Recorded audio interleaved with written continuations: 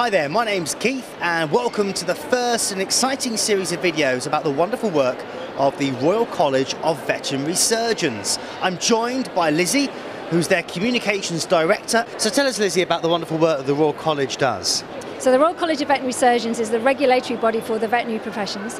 That means we set, uphold and advance standards for veterinary surgeons and veterinary nurses and that covers education, ethics, professionalism. Our first role is to look at the individuals, so the veterinary surgeons and the veterinary nurses themselves, to make sure they've got the right qualifications to be on our register and that they follow a code of professional conduct while they're working and they keep their skills and knowledge up to date. Then we also do look at the, the organisations in which they work, so the practices themselves. So therefore, all vets registered with you? Are they all accredited?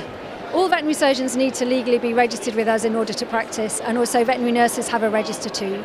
Veterinary practices um, can join a voluntary scheme, uh, so around half the practices in the UK are on a voluntary scheme, and once they've passed a voluntary inspection, uh, they can call themselves RCVS accredited. If they wanted to check if the individual veterinary surgeon was registered with us, they could look on our website and check to see if they're on the register. So if they want to check that a practice is part of our uh, RCVS accredited practice scheme, they could go on to findavet.org.uk, put in either a name of a practice or a town where they live or even their postcode and find a list of veterinary practices near them that are in part of the scheme.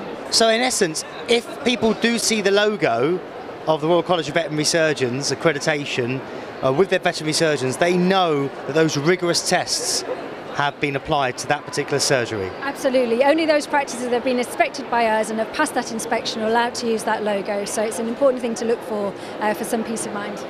Thank you very much. Well, there we go. If you want to find out more about the Royal College of Veterinary Surgeons and, of course, their exciting appearance at the London Pet Show, keep watching. And don't forget, you can check the website as well, which is rcvs.org.uk.